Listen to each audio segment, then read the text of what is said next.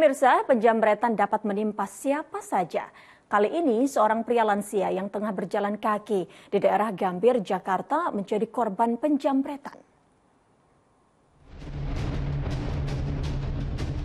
Beginilah detik-detik penjamretan terhadap seorang pria di kawasan Gambir, Jakarta Pusat yang terekam kamera pengawas CCTV.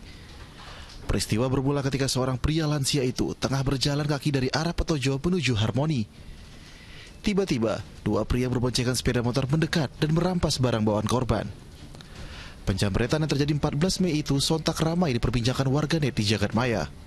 Sampai saat ini eh, korban belum ada melapor ke Polsek Metro Gambir. Dari rekaman CCTV yang termonitor, pelaku dua orang menggunakan sepeda motor eh, dengan warna merah putih. Meski belum menerima laporan dari korban, polisi tetap melakukan penyelidikan atas kasus tersebut. Don Vito Samarta melaporkan dari Jakarta.